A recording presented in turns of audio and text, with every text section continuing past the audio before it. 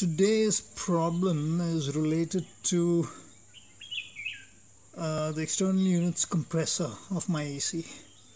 This is a recurring problem and essentially what's happening is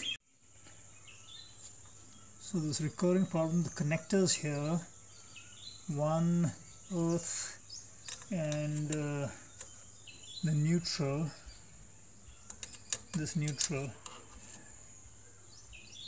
keep well one of them burns out. Uh, the construction here is a pin there are three pins there which have been uh, there's been a flat plate spot welded onto those pins and then flat clips connected to these wires uh, slip onto those flat plates which are spot welded to the pins.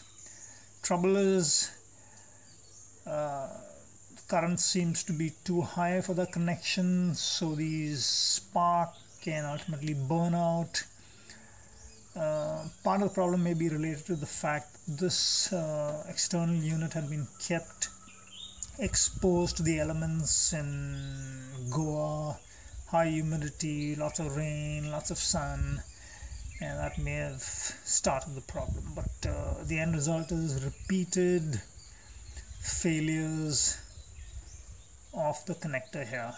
I initially called an, uh, an electrical AC technician.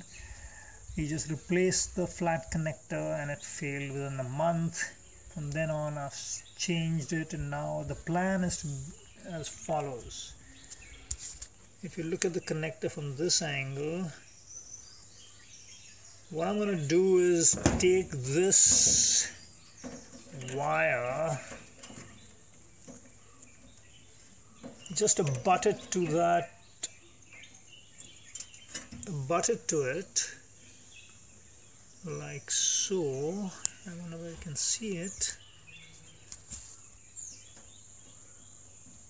So we're just butting it to that pin and then I'm going to wind copper wire around it to make the connection. Okay so here's the first unfinished. So just taken uh, I've put the the connecting wire the black connecting wire attached it uh, just butted it to the pin and then use some copper wire to bind it to the pin. It's unfinished. I've got to cut that off and then there's a blue sleeve uh, that's going to protect it insulate it from the rest uh, essentially I've done the same thing to the red wire actually. to this red guy. You can see this similar connection there which appears to need some further insulation. Okie dokie. And that's the final fix. I still have to put plastic in between the terminals the pins so that they are somewhat protected.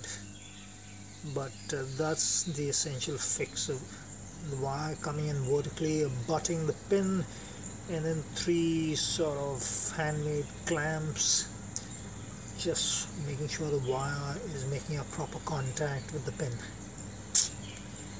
There you go